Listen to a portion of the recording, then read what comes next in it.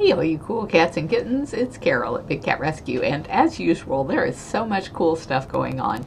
So today, Lauren Buckingham, who does all of our in situ work, is in Sri Lanka with 22 of our conservation partners. We donate over $100,000 a year to conservation projects in the wild, and we like to concentrate primarily on the small cat issues because the big cats get the bulk of the money.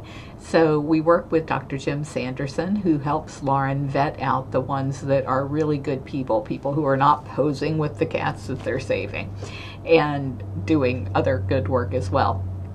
So what we're doing with them, and it was really hard for Lauren, was we sent 22 of the Insta360 Evo cameras to this conference. It's a small cat summit that they're having in Sri Lanka where all of our conservation partners will be. And she's taking everybody their own camera so that they can work with the species that they take care of in the wild. Some of them work with Pallas cats, fishing cats, sand cats. So we're going to be gathering footage of those kinds of cats in their native homes.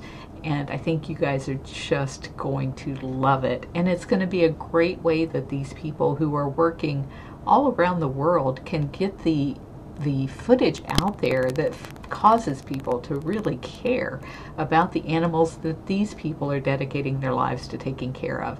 So it's such a, a wonderful project, and I'm just so happy. Lauren had a really hard time getting 22 cameras through customs because everybody thought she was up to something. and it's hard to say, no, we're giving these cameras away. We're giving them to people who save wild cats in wild places. But she managed to do it. So she's well, last I heard, the last place she got stuck was at the uh, in Emirates, but I think that was her last flight, and so she should be there and doing well. I haven't gotten a report from her yet, but I will assume all is going well. And as soon as I know more, I'll let you guys know more. Meanwhile, I have a update from Maureen Calderon. This was from nine hours ago, and she was talking about our enrichment crew. She says Santa's elves were busy last night at the enrichment barn.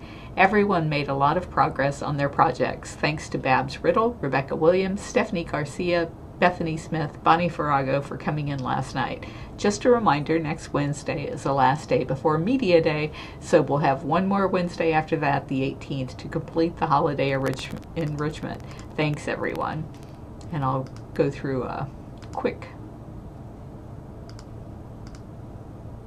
look at their images here. You can see all of our photos and videos and our daily updates at bigcatrescue.org.